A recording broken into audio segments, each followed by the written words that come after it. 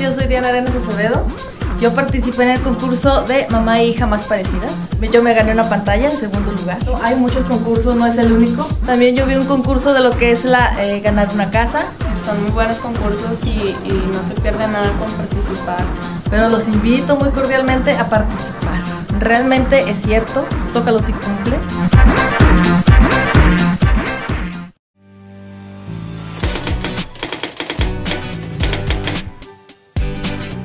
Primeramente porque es un derecho, es un derecho constitucional que se tiene de, de poder a través del voto hacer valer nuestras decisiones.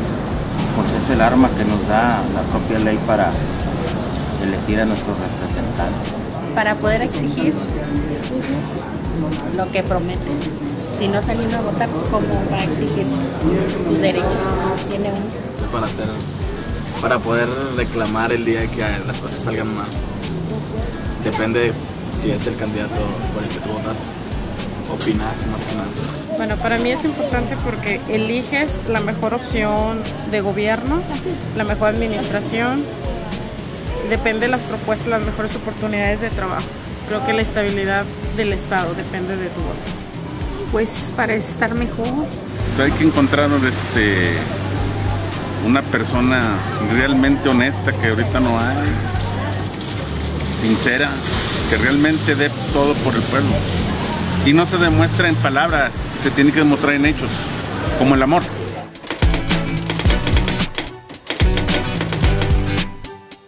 Cada quien tendrá su, justificación para no ejercerlo. Sin embargo, sí debe de, quien esté en posibilidades de hacerlo, pues debe de, de hacerlo. Pues no, porque el voto es libre y cada quien decide si vota o no, o si lo anula. Ah, sería como a rajatabla obligar a alguien a que votara. ¿Sí? ¿Por qué?